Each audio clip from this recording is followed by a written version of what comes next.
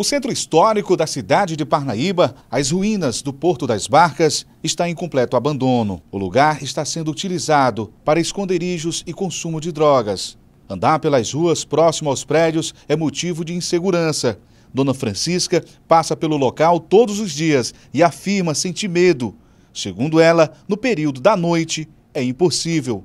Eu moro aqui no bairro, mas à noite eu não passo nessa rua. Eu ando, mas sempre com aquela preocupação, né? Devido a esses prédios estão abandonados, né? A gente tem aquela preocupação com um assalto, com alguma coisa nesse nível. A maioria dos prédios se tornam sombrio.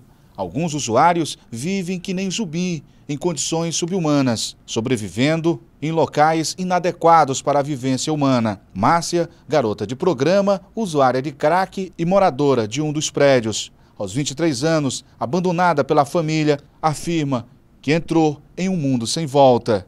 Márcia mora no segundo andar deste prédio abandonado no centro histórico da cidade.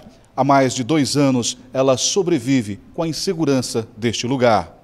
Uma mulher que me deu a primeira vez, depois que eu provei, pronto. Aí andei usando assim devagarzinho tudo.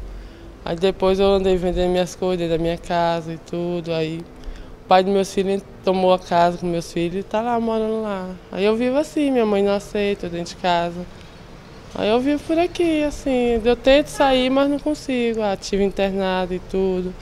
Mas é difícil. A minha mãe pensa que é fácil assim pra gente sair, mas não é. Eu tenho vontade de deixar e tudo, mas não consigo. Como é que tu te sente hoje como ser humano? Eu me sinto sozinha, triste. Sem ninguém sem meus filhos por perto, sem minha família. Para mim acabou. Porque minha mãe não quer saber de mim. Meus filhos estão bem de vida, graças a Deus, né? Fazer o quê? Em vários locais é possível encontrar vestígios do consumo de drogas.